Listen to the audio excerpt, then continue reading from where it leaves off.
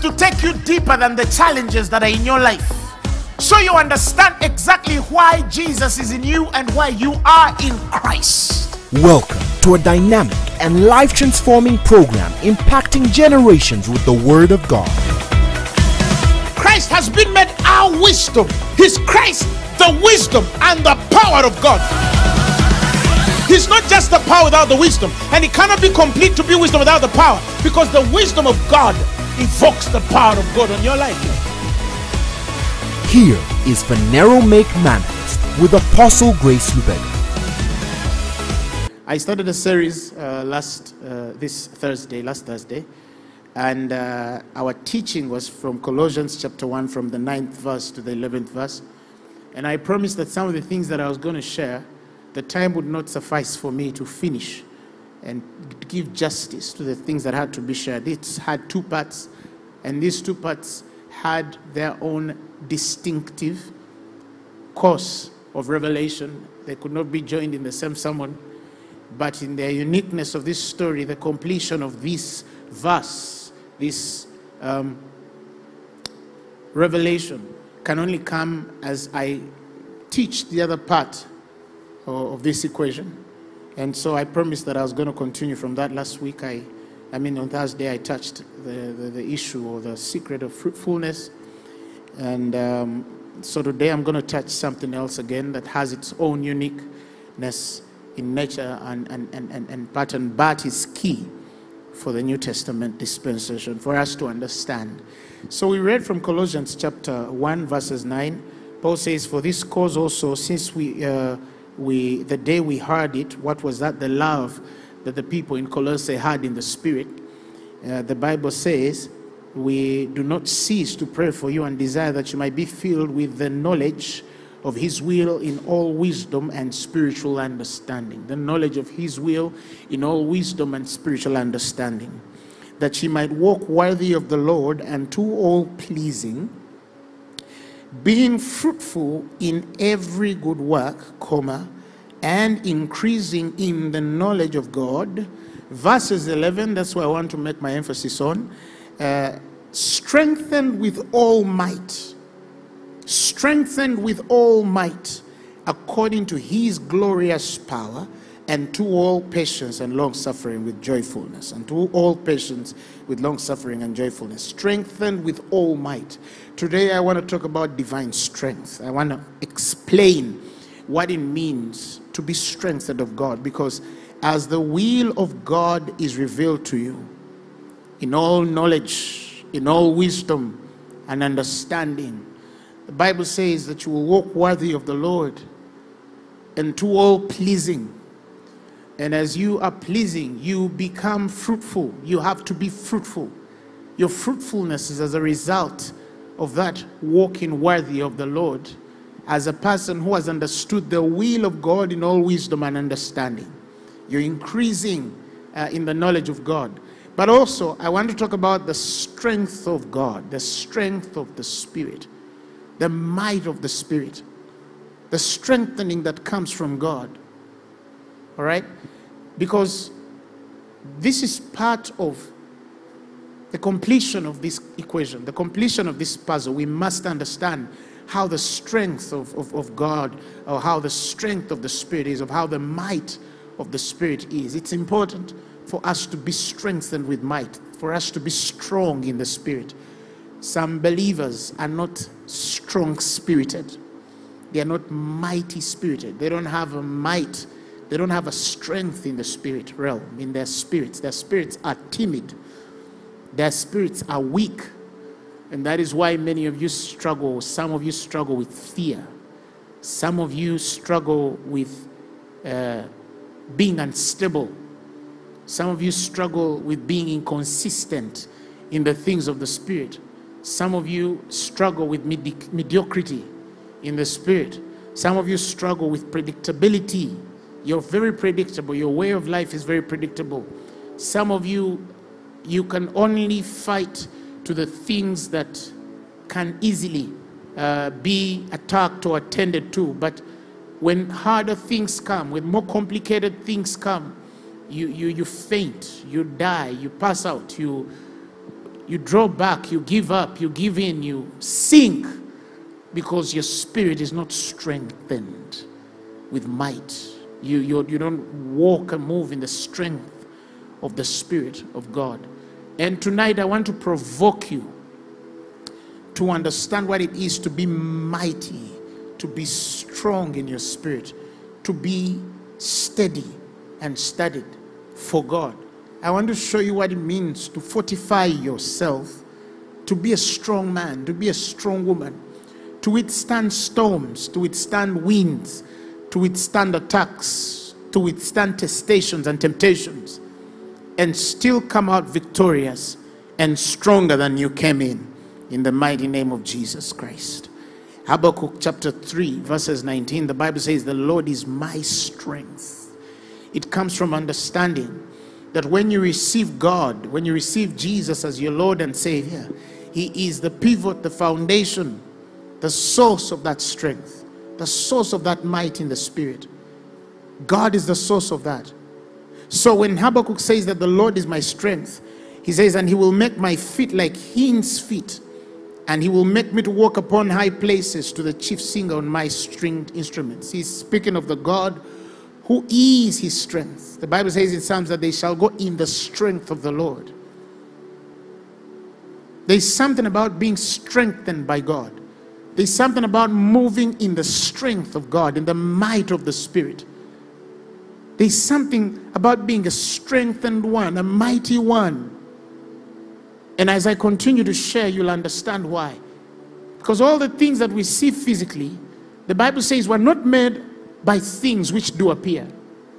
So even what will come out for strength, spiritual, I mean physical, began from a spiritual building, a spiritual trans, uh, transformation, a spiritual establishment, a, a spiritual vision, a spiritual way and understanding of life. So, if your heart, if your spirit is not strengthened, if you don't carry a certain might, okay, you cannot even live long. One point when God is tired of striving with man, he says, I shall not strive with man anymore. Okay? And, and, and he shortens the days. And then we see later how he speaks of how the days of men in flesh shall be 70, but by reason of strength more. Okay? So when he says by reason of strength more, what does it mean? So it doesn't mean that you are all men are ordained to die at 70 or that 70 is the age to die and you know the rest should go further. No, when we become new in Christ, when we become born again, we live longer. We see longer. We plan to live longer on the earth. We are not subject to the 70 years. But he has spoken that even if a man should go further than that, it's their strength. Right? It's the strength of the spirit, the reason of strength that takes men far. You're not going to live long because you eat so good, although I'm not against eating good. Eating good is okay. But you're not going to live long because you eat so good. You're not going to live long because you are rich and you have access to all the medication in the world or the, all the hospitals in the world. Some of the richest people we know have died, and there's nothing their money would do. But you will live long by reason of strength. And that strength does not begin from the physical manifestation of your life. It does not begin from what is working and what's not working in your body. There are people who were healthy from head to toe and have died in this season of any other deaths. Okay? But consequently, God will drive your body to a robustness of health because of the strength that you carry within. And because of that, you will live a full life. The Bible says that you shall serve the Lord your God. And the Bible says, and he shall bless your bread and water, and he shall take sickness from the midst of thee. But he also promises that the days of your life shall he fulfill. He, he intends to give you a full life, the number of your li- of the days of your life. The Bible says he shall fulfill. He will bring to fruition. You will go to your grave old. But that can only be by the reason of the strength, the might of the Spirit. Some people have good genes, but good genes are not enough to give you a full life. At least human, humanity and human life as we know it has taught us that. Yes, for some they can say, oh, it's the genes. But there are people of the same genes who have died.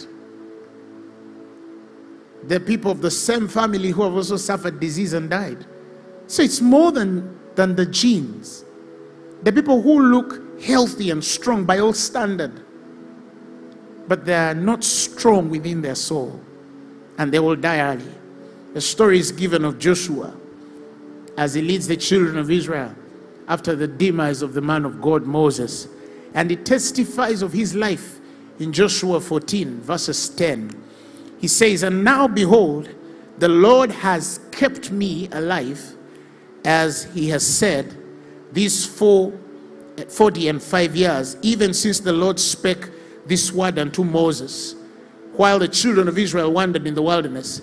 And now, lo, I am this day fourscore and five years. What is fourscore and five years? 85 years. He says, I'm this age, this day fourscore and five years. Yet I am as strong this day as I was in the day that Moses sent me. As my strength was then, even so is my strength now for war, both to go out and to come out, to come in. Joshua is strong enough to even go to war at 85 because he feels that he is strong in himself as he was when he was 40, as he was when he was 30. That is what they call the strength of God. And so he says, Right now, my strength is now for war, both to go out and to come in. I can fight. I can go to war and go on the front line and kill a 30 or 40 year old with my own strength and skill. Now that is health. That is life. Today, people are 50 and everything is dead in their body. People are 60 and everything is dead in their body. People are 70 and, and they, they, they are gone. They can't even run. They, they, can't, they can't ride a bicycle. And that is why I decree upon your life for everybody that is under the sound of this voice right now that tonight God is fixing, aligning, placing, positioning something in your spirit as this word goes out that gives you a strength that even at 90 you will do things men at 30 and 40 do. In the mighty name of Jesus receive it and say amen. That is the strength of the spirit. But you see it transcends the strength of the flesh the body and it goes into the strength of our spirits it is with that strength that we progress in life it is that with that strength that we overcome the tests of our time. It is with that strength that we create things out of nothingness because we carry the word and the revelation of the Spirit that defines our future. It is with that strength that we uphold our relationships. It is with that strength that we build our ministries.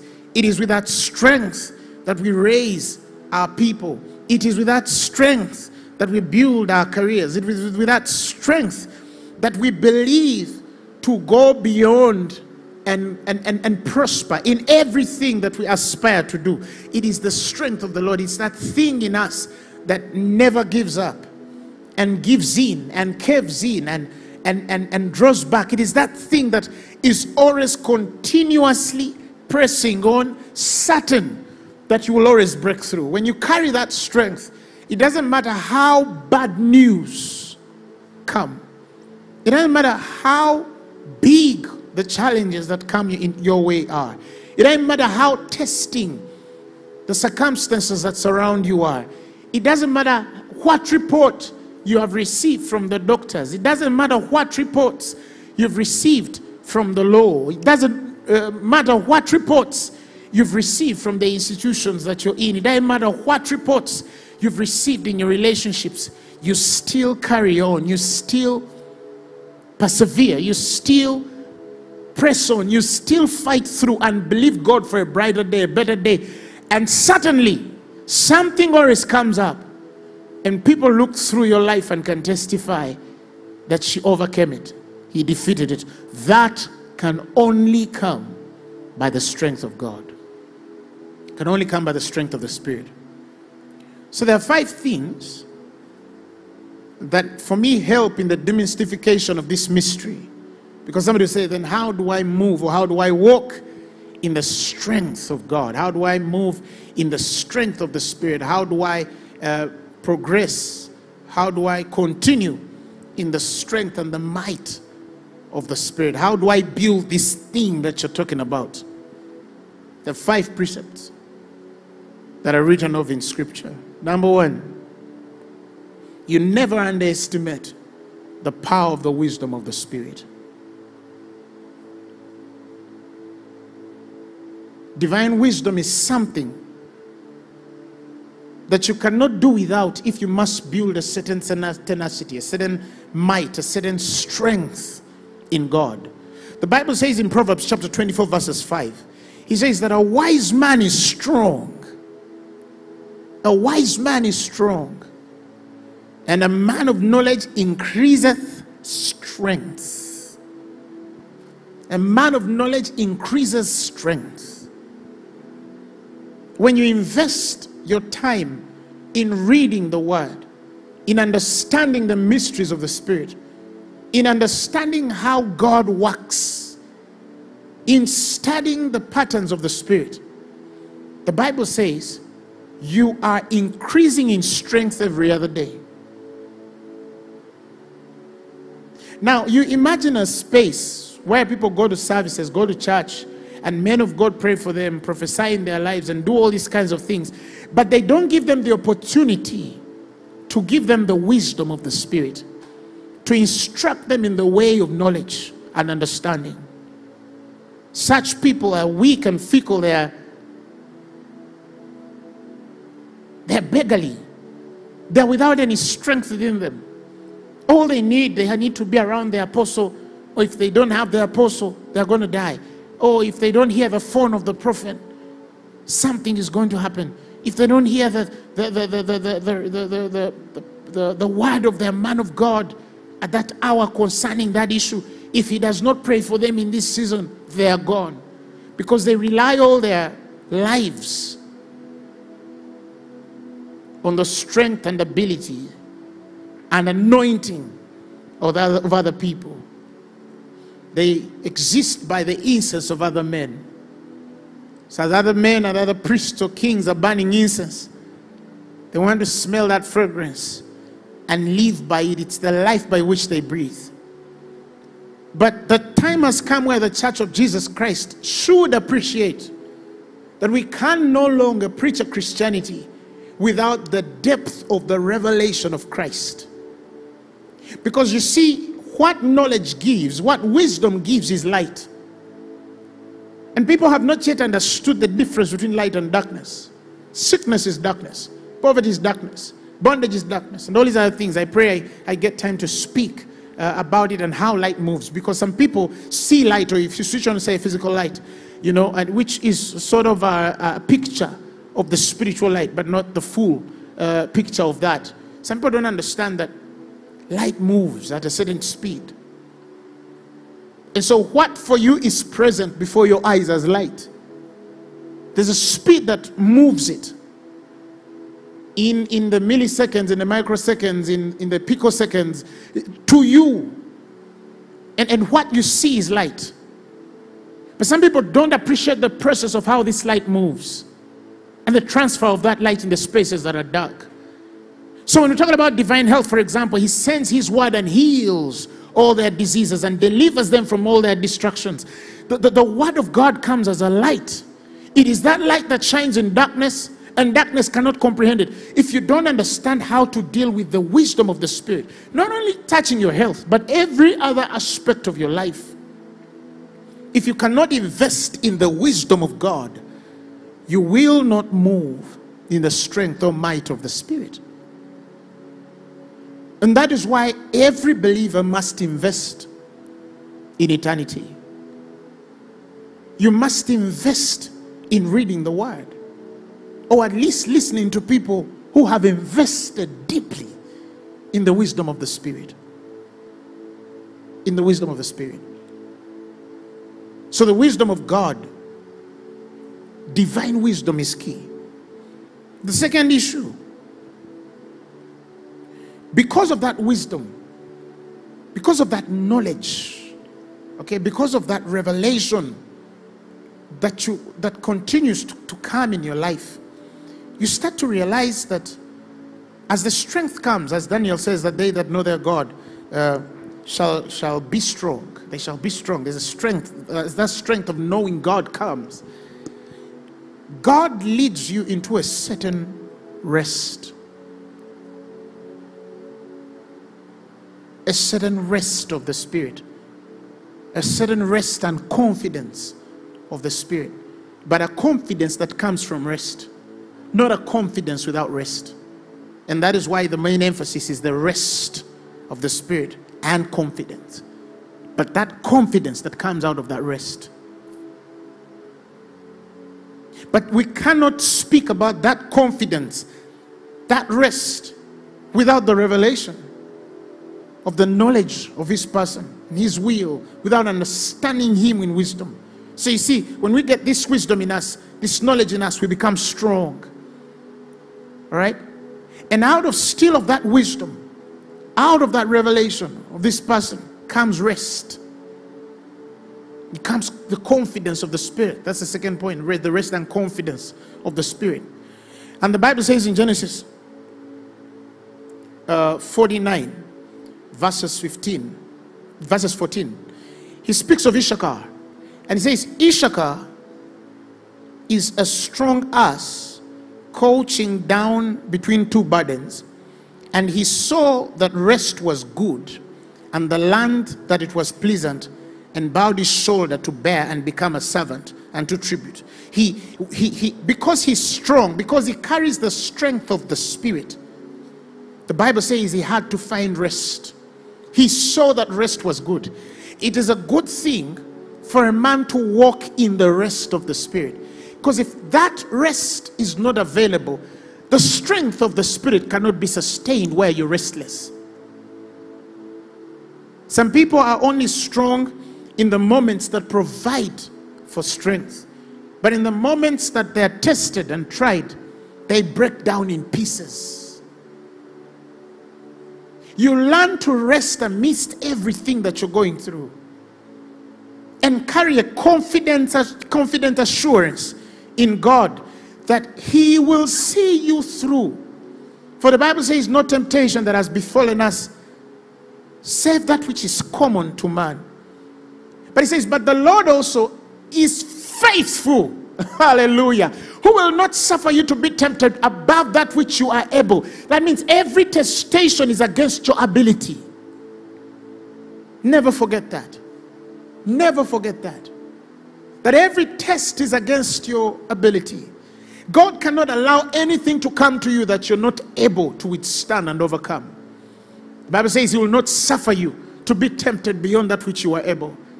But He will, with a temptation, that very temptation, make a way for you to escape that you might be able to bear it.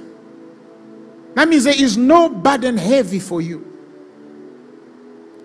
There is no burden bigger for you not to carry. There is no test or testation that is so big for you not to be able to go through, for you not to be able to overcome. There is nothing you cannot circumvent. There is nothing you cannot overcome. There is nothing you cannot defeat. God has not let anything to come your way that you are not able to fight. If you had bad news from the doctor, well, you're able. You're able to overcome that. you're able to stand that through. Otherwise, there is no way that thing would come to you.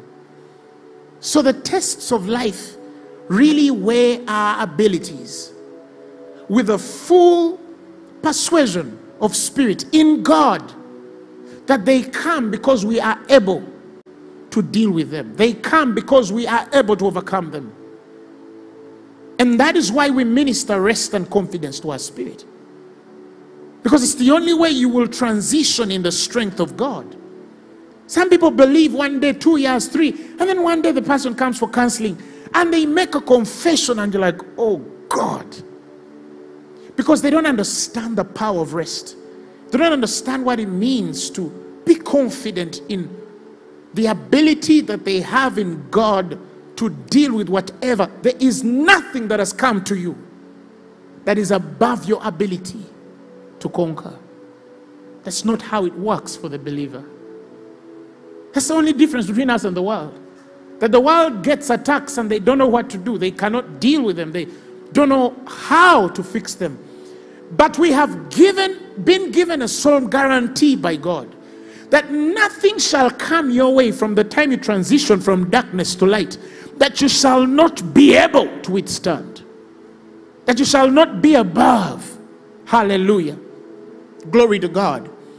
In Isaiah chapter 30, verses 15, he says, For thus saith the Lord God, the Holy One of Israel, in returning, that is waiting or coming to God or seeking God, he says, In returning and rest shall you be saved, in quietness and in confidence shall be your strength. In quietness and confidence shall be your strength. Hallelujah. Glory to God. What, what does it mean by quietness? Quietness that comes from rest. You know, there are people, when they get challenges, they tell everybody. This, they become broadcasters. Oh, you know, the doctor said that I have this. Oh, you know, the doctor said that I have this. Oh, pity parties. And oh, I know a doctor and I know somebody. You know, they say problem uh, uh, shared is a problem. I don't know where Christians get those things are for the world. We don't share our problems. No, we share about God. We share about God. We talk about God. And that is why I sternly rebuke some of you who are in the habit of narrating your problems everywhere you go. Everywhere you are, you, you need to tell someone, you, oh, you know, I have this problem. Oh, you know, me, I have this problem. Oh, you know, I, you know, I've gone through this issue. Oh, you know, I have this challenge. Oh, you, you go telling everybody. You go telling everybody. You go, even people who don't matter. Who cannot help you because you don't even know the help that you need. But he said that in that quietness and in that confidence of spirit, he says, shall be your strength. That means we draw and grow and increase in the strength of God as we learn to rest in Him and carry a confident assurance that we shall go through this. See, it is easy when everything is okay for you. Some of us, or some of you, have never really been tested. But I've stood before somebody and told me you have days to die, and they said, uh uh And I left that space and I never shared it with anybody and believed God. I only gave a testimony of it after I had overcome it. Because every time you narrate these things, you build life, you, you, you, you, you're planting seeds of those realities. Whatever you can you don't talk about cannot germinate. Never forget that. Whatever you don't discuss cannot germinate. But some of you, you have ways of narrating. You've become good storytellers of your predicament. You, you know how to tell your sad story. And that's the life you've lived all your life. You just you just find that you have to. You have to. And how long are you going to do that? Where is God? And so every time you narrate these things, it weakens you. Although you say, oh, a problem half shared is half solved, uh, half solved. You know why they say that? because they, they see these issues from an emotional perspective. We see these issues from a spiritual perspective. And because we see things from the spiritual perspective, we either align ourselves to the patterns, the ways of the spirit, or we go the way of the world. But we cannot have both. We cannot have both. You must carry a confidence that God is not only able, but I will overcome this. I will go through this. I will come out of it quickly in the mighty name of Jesus. That's what they call being strong in the spirit. Weak people narrate their issues everywhere they are. They, they need to tell everybody. Everybody must know what happened to them last week and last year. And that is why also I need to emphasize your confession as a, a different point. That's the other point too. Besides the rest and, and, and confidence. I also need to address the issue of your confession. Confession is a very strong pillar. It's a very strong pillar. That should be the fourth. It's a very strong pillar in this. The Bible says somewhere in Joel chapter uh, 3, verses 10. It says, Beat your plowshares into swords and your uh, pruning hooks into spears. Let the weak say. Oh, when you're weak, what do you say? He, he, he, these guys are in trouble, but he's telling them, Look, prepare yourselves and align yourselves as men going to war. And if you carry any weakness in your spirit, he's saying, confess strength. Let's just say you feel pain in your body. How often do you narrate or muse or think over this, this pain? Some people are so conscious and consciously thinking about their problems that they, they, they fight. Sometimes some of you, you don't confess with your mouth, but you confess with your heart. Ah, is that even possible? Because the Bible says confession is with the mouth. But the Bible says also in certain spaces that you to some people say in their heart. You can have confessions in the in the heart. So the Bible says, do not say in your heart. And Jesus had what they said in their heart. And, and, and he, he responds to them and says, uh, Why do you say? They didn't say with their mouths, but they were saying certain things with their heart. Some of you say certain things with your heart. You don't say it with your mouth, but you say it with your heart. You understand? Otherwise, how would a how would a dumb person, somebody who can't speak, receive Jesus as their Lord and Savior? Do you mean that people who are dumb are not born again? They're not dumb, dumb uh, people who are born again. There are people who are born again, but they're dumb, but they can't speak. So how is that confession made? It's made with their heart. So the heart meditates, believes, but also your confession begins from the heart. It begins from the heart. So he tells you, look, when, when your heart starts to go weary, in a bad report, in a bad situation, in whatever you're going through, you, you, you learn to speak to your heart and speak with your mouth if you can. In fact, you must if you can. And find yourself confessing strength where weakness was you realize that the spirit of strength and might in you will gain more traction, will gain more tenacity, more stability, more grace. You learn to speak. You learn, you, yes, thoughts can go through, oh, you know, now where am I going to get rent? Then you think for two hours, do you know what you're doing to yourself? Your heart is speaking. You're saying things in your heart. But every time you give yourself to these words, you are killing yourself. You're murdering yourself. You are defiling your spirit. You're breaching your spirit. And as you breach your spirit, when tests come and you have to stand in the space of faith, you cannot believe. You cannot stand time. You will fall in tatters. Why? because you do not know how to guard and keep your soul, your spirit, your heart. For out of it, the Bible says, are the issues of life. More strength is given when you learn it and you stir yourself in the joy of the Spirit. As you confess You stir yourself you to joy because of the rested confidence in him by reason of the wisdom and revelation that you have in him. You stir yourself in a certain joy. If he says, For the joy of the Lord is my strength. But we're not talking about a joy that is contrary to confession, that is contrary to rest, that is contrary to confidence and faith in God. We're talking about this joy that comes as a reason of your speech, as a reason of your rest, as a reason of your confidence in Him, because of the revelation that you have in Him, the knowledge that you have in Him. So you find yourself confessing, and as you're confessing, you stir yourself into the joy of the Lord. You stir yourself to that joy. And as, as you, oh, I thank you, oh God, because I'm healthy. Oh, I thank you. You find yourself laughing.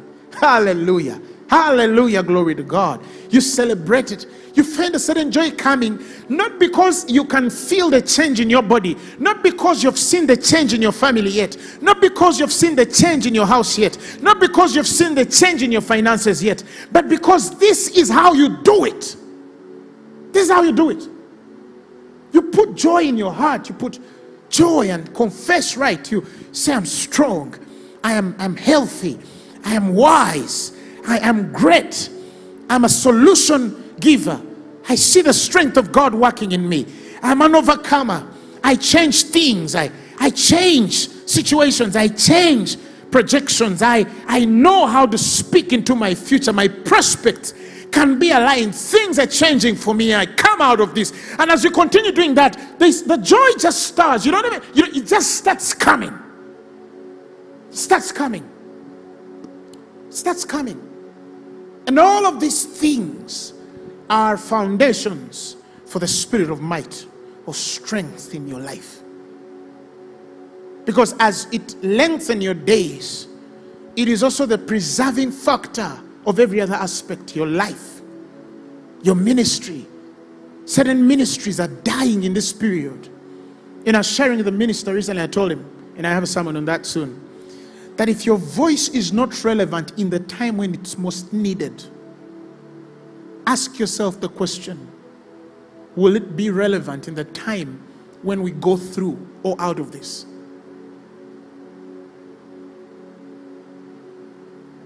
So, in this period, you are either relevant with voice, or if we are without voice, then carry the wisdom to prepare yourself for relevance. Because if we come out of this season without a certain aligning in the spirit. I spoke this thing two years ago, one year ago. I kept mentioning in sermons, I was warning people there's a shaking coming, there's something coming. And those who are spiritual remember, I kept saying there's something coming, there's a shaking coming. We are in that shaking. And certain people are going to sink in this shaking, and others are going to come out stronger than they entered this shaking.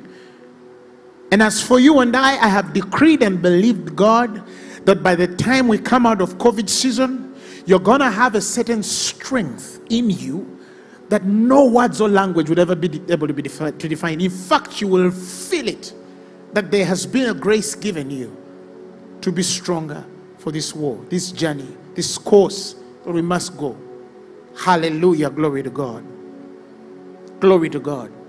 The Bible says in Psalms 8, verses 2, He says, Out of the mouths of babes and unweaned infants, you have established strength because of your force, that ye might silence the enemy and the avenger, that ye might silence the enemy and the avenger. The things that silence the devil. He says, out of babes, out of infants that are nursing. The Bible says he has established strength from their mouths.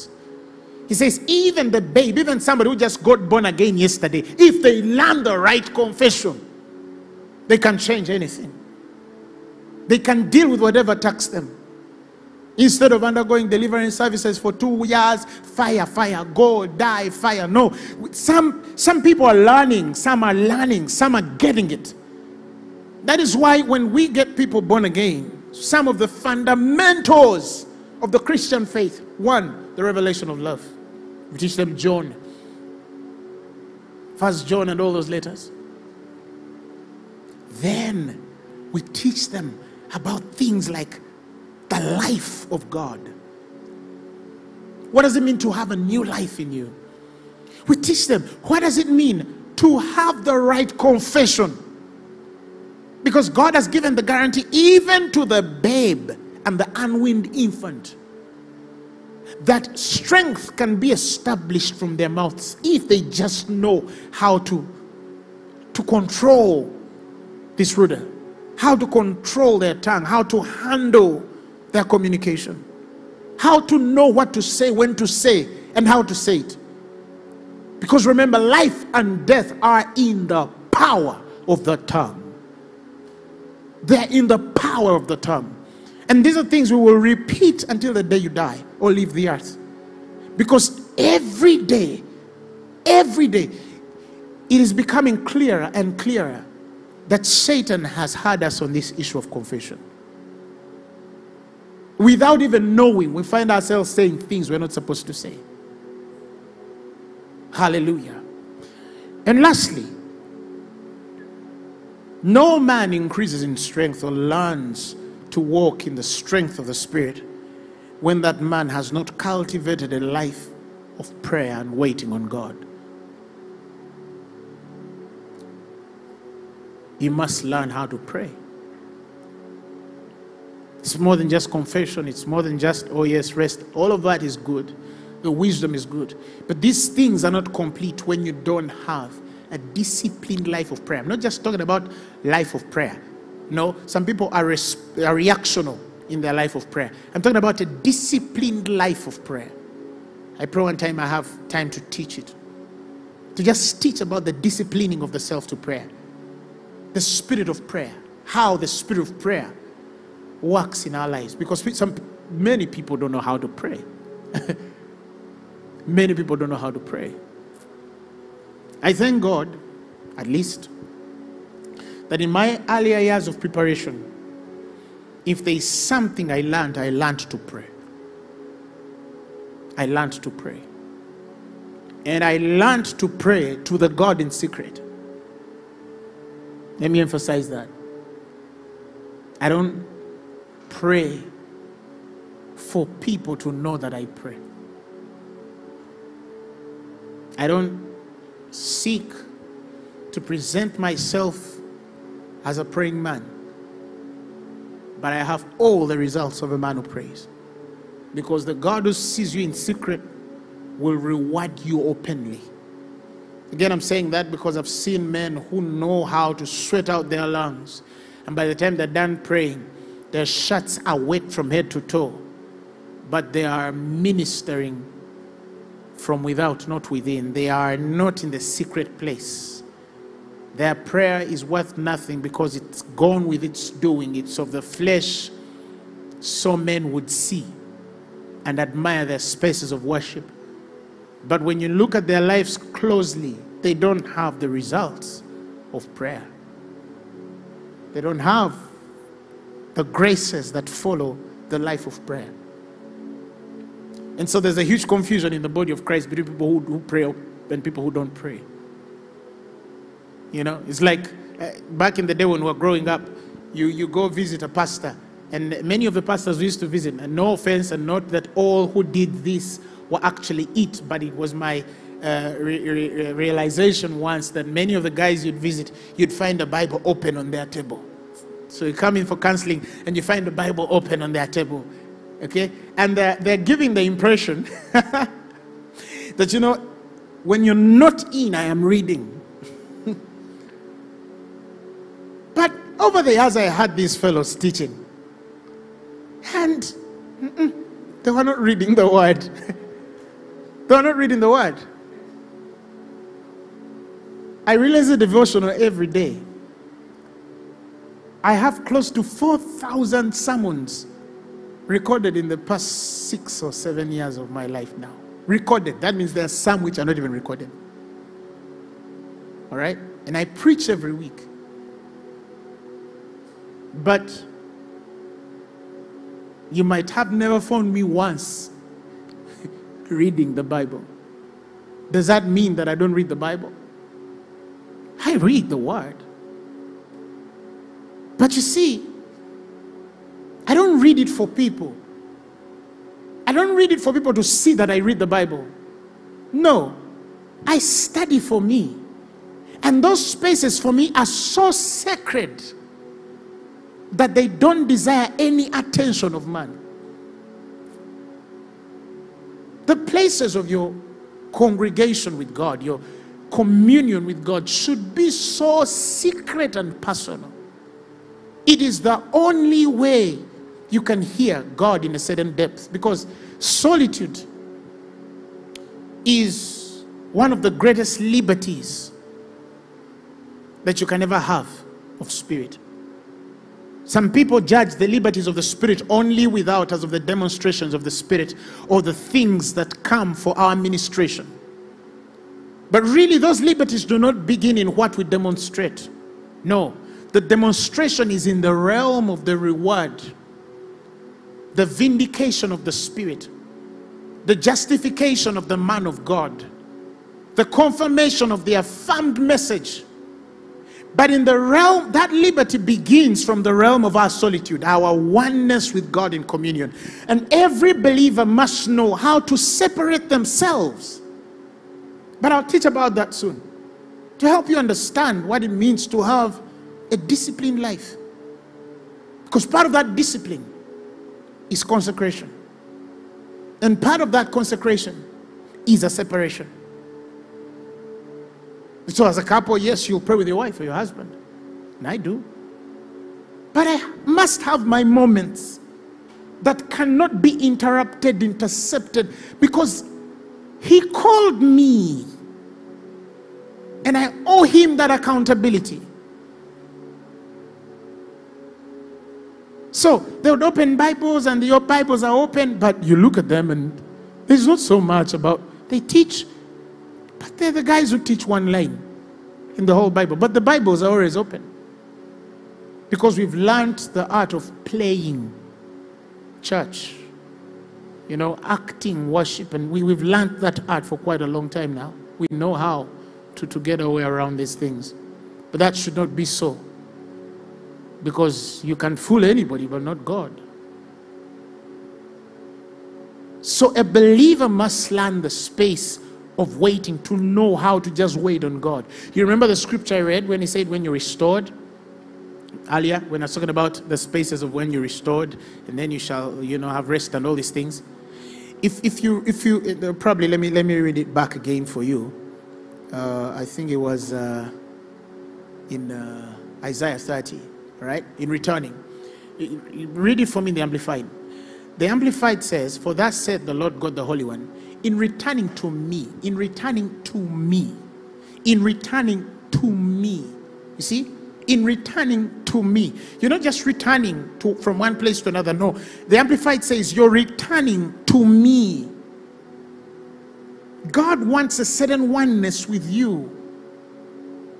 He wants a certain if, if, if you feel that you're disconnected to the person of the Holy Spirit, your, your spaces of, of, of worship, your spaces of communion are dead. He's saying reconcile those spaces because they, they, they, they are defining and are seeking a certain definition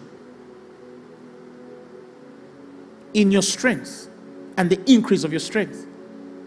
So we learn to wait on God. And, and, and, and I'll read for us a scripture in Psalms 27 the verses 14, it says, Wait on the Lord. Wait on the Lord. And it says, Be of good courage, and he shall strengthen your heart. He shall strengthen your heart.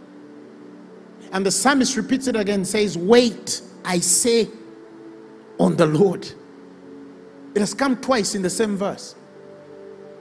What do I mean by waiting on the Lord? Waiting on the Lord is not just a passive sitting there and then you say, okay, God, I'm waiting on you. Come. No. Waiting on the Lord means sitting in His presence, recognizing that space with Him, and allowing to just hear from Him. And relate with Him and commune with Him and indulge with Him, to be one with Him. So it's not just the rest of your body, no, it's as you're waiting on Him. In fact, the literal definition of waiting on the Lord is for the man to be before God and allow God to be before him that that God can only lead and the man follow after. That's waiting on God. To, to let, to just allow him be before you. The psalm says, For the Lord was always before me. To just let God go before you. And that you learn to yield and follow after his spirit. To yield entirely to his person. There's a process there. Although the, the flesh could be rested, but there is a lot of activity of your spirit as you lean in. As you lean in. Some of you, you have bad news or a bad report, and then you just, oh, Father, we cancel, and then you move on. No. Separate yourself. Lock yourself up and say, God, I'm here. What am I missing? What is it that I need to know and understand in this? You, I know you need my attention. I am attending right now and I'm present. What are you telling me?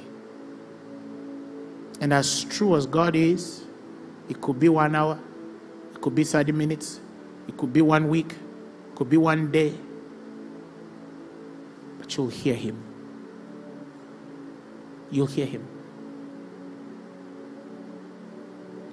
And when you hear Him, you appropriate what they call the law of beginnings. The law of beginnings. It's the principle, of course, from Genesis. When we go to Genesis, in the beginning, you know, the earth was without form and void, and the Spirit of the Lord was hovering, so He can hover and be present. And the Bible says, and the Lord said, Let there be light. And the creative force that began everything we see in the physical realm started evolving, and God appears to us as a speaking voice with creative power. The beginning of all things comes when the word comes, when the word is sent. He sent a word to Jacob, the Bible says, and lit the whole of Israel. Some of you, the things you're going through, all you need is just one word, "Pam," And that's the beginning of reversing every cycle that has frustrated your life. So I call it the law of beginnings. And the law of beginnings comes with Rhema. Comes with Rhema.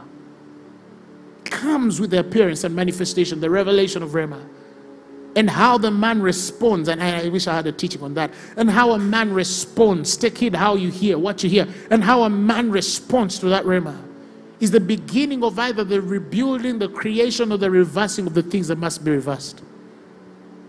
But you must learn to wait on God in confident assurance, in the rest of the Spirit, in the wisdom of God, in the right confession of your life. When you learn these things, when you relate with these things fully, you will see that you will be a person strong, strengthened with might in your spirit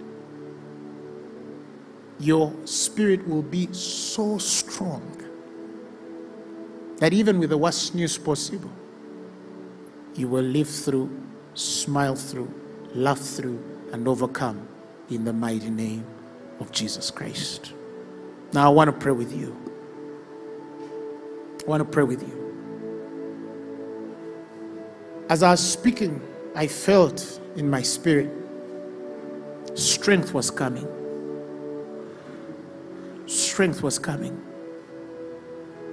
The strength of God as the seed was being planted or watered in your souls, in your hearts.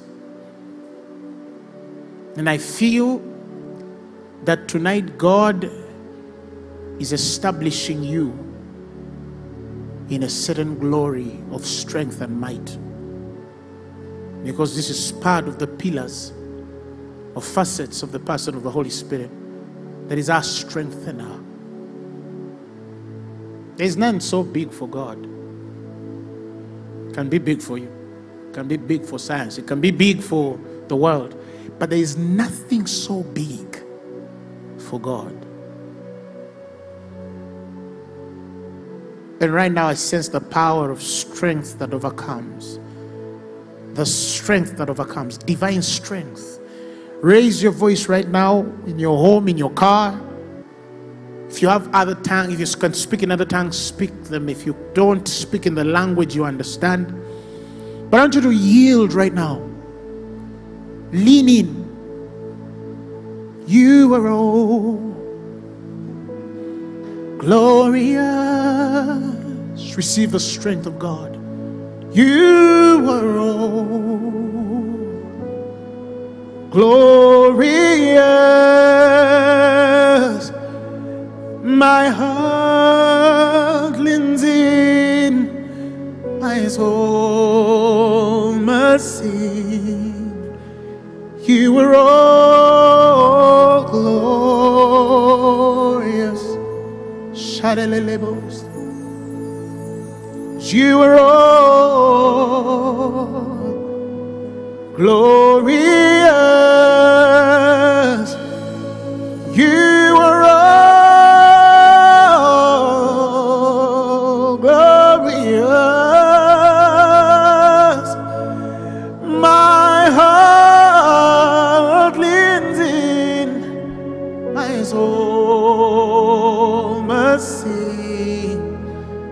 You are all glorious. Come on, draw in, draw in, draw in. You are all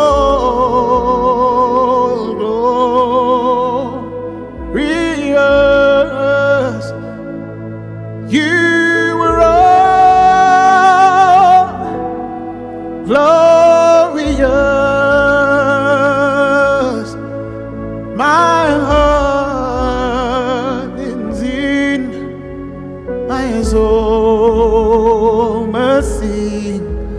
You are all glorious.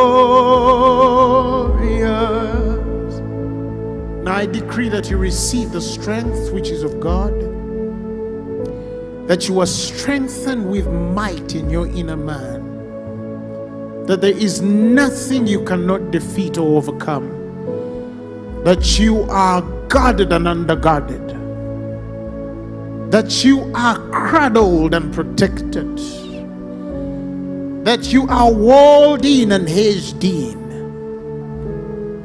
that you abide under the shadow of his mighty wings, that you are kept and preserved by the power of God unto salvation.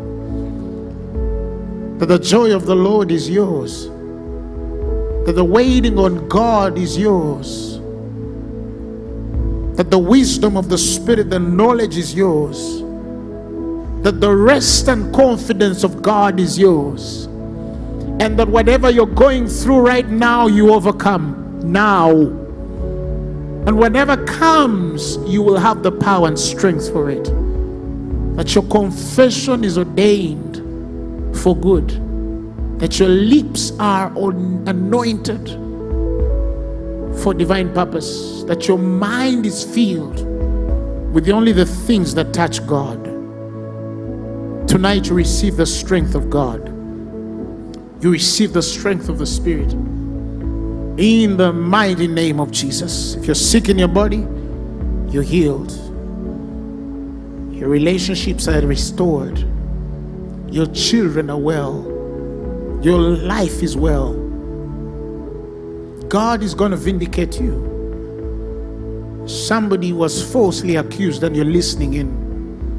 In fact, as was speaking, you were weeping because of the words that have been spoken about you. But God says that all is well with you. in the mighty name of Jesus. If you've never given your life to Christ, I want to give you an opportunity to receive Jesus as your Lord and Savior. You repeat these words after me and say, Lord Jesus, I thank you because you died and was raised for my glory. I am born again. Amen. If you've made that prayer, you're born again. You can reach me on phaneroo.org slash salvation. I want to hear your name, your testimony, whatever God has done in your life. And those of you who have been healed as well, you can go on phaneroo.org slash testimonies or you can reach us on plus 256 200 999 That is flashed on the screens for you. Thank you for tuning in. Thank you for being with us today. I hope to hear or see you uh, on uh, Thursday. May the Lord bless you. This broadcast was brought to you by Phaneroo Ministries International. For more information about the great work of God, visit us on the web at www.phaneroo.org or download the Phaneroo app today and enjoy sermons, daily devotionals, and timely updates. The Phaneroo app, available on both Google Play and Apple App Store. You may also email us at info at phaneroo.org. Follow us on social media platforms on Facebook, Twitter, and Instagram. Phaneroo, make manifest.